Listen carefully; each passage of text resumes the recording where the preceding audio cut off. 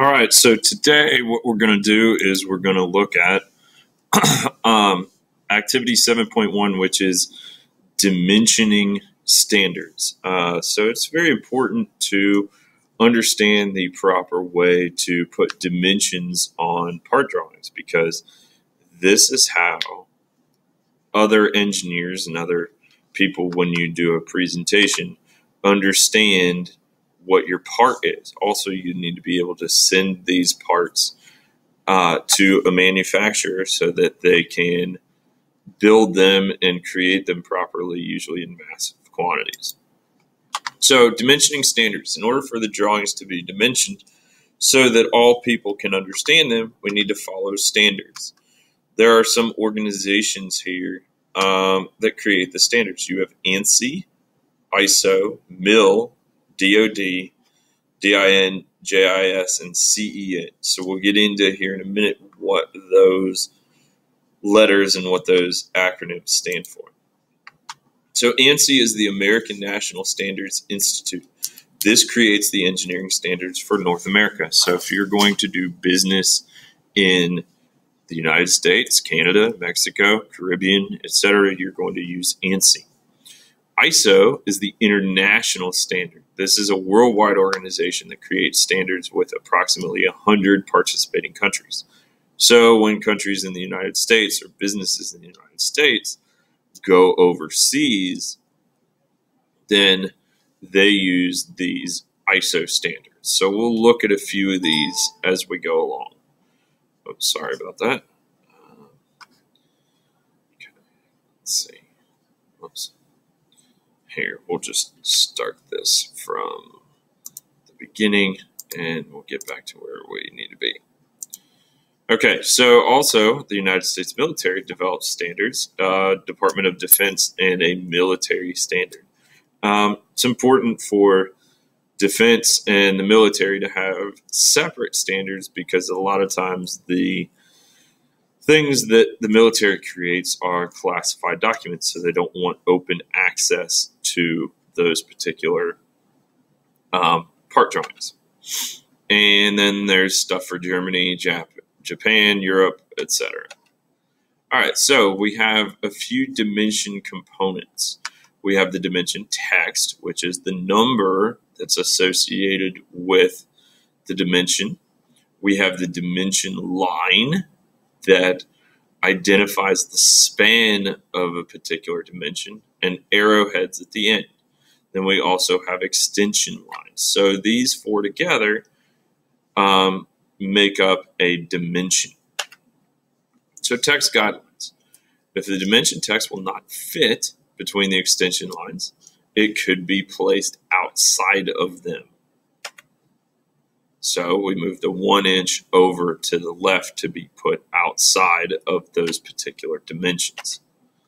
Okay, dimension text is placed in the middle of the line horizontally as shown here.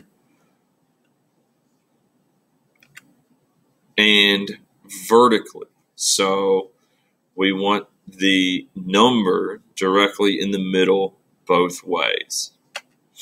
So dimensions are represented on a drawing. Unidirectional means all that the dimensions are read in the same direction. The aligned dimensions means the dimensions are read in alignment with dimension lines or side of the part. Some of these read horizontally and others read vertically. So we'll show you some examples of this here going forward. So unidirectional dimensions everything reads across. Um, and they can be read from the bottom of the drawing sheet. Aligned dimensions, all right, so if the dimension is horizontal, the numbers appear horizontal. If the dimension is vertical, the lines appear vertical.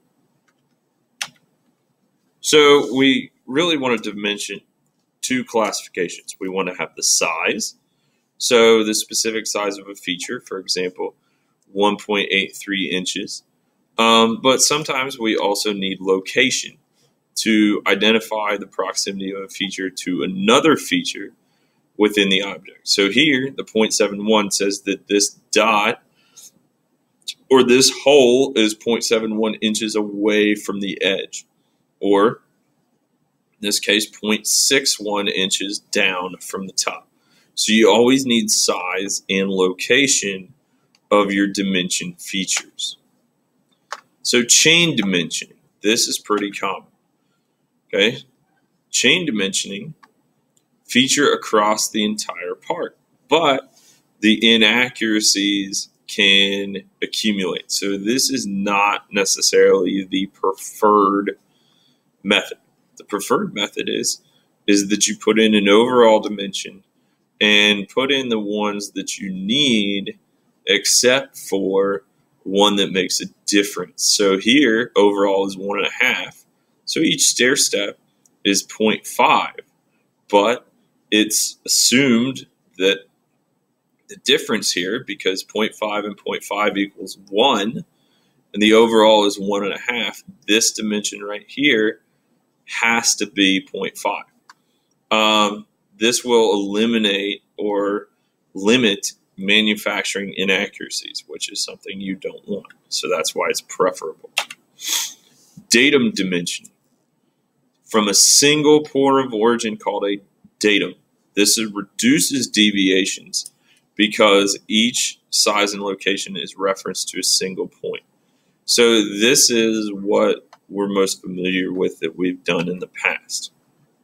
So here, notice that all of the dimensions start from the left side, and then here all of the dimensions start from the bottom. So you have 0.5, 1, and then 1.5. Here we have 0.25, 0.5, and then 0.75. So it's like they go up all from a single origin or the datum of the part. So we have various dimensioning symbols that you need to be aware of. The degree symbol, reference symbol is a parenthesis, diameter, you've seen this before, which is a circle with a line through it. R, you've also seen that before, which is a radius, counter bore, countersink, depth. These are all hole symbols, which we'll get to as we go along plus minus, center line, square, etc. So this slide you're going to need to come back to quite a bit as you're dimensioning things. An angle can be done a number of ways. You can have a coordinate method that specifies the two location distances of the angle.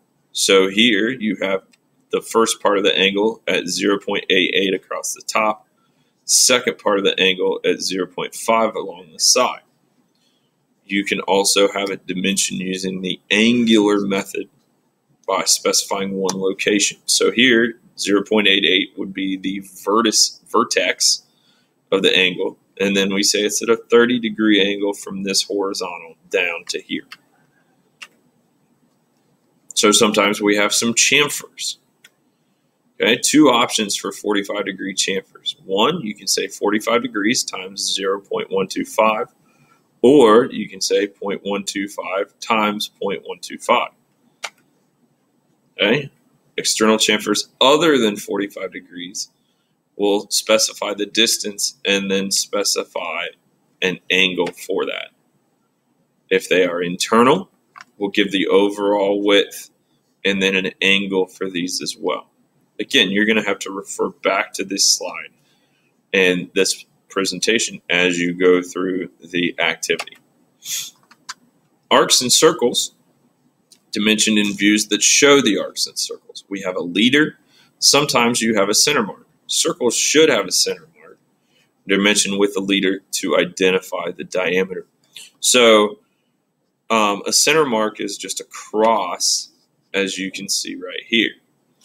Capital R indicates a radius. Small arcs do not need center marks. So we'll stop there and we'll pick it up um, with our next part two of our dimensioning presentation.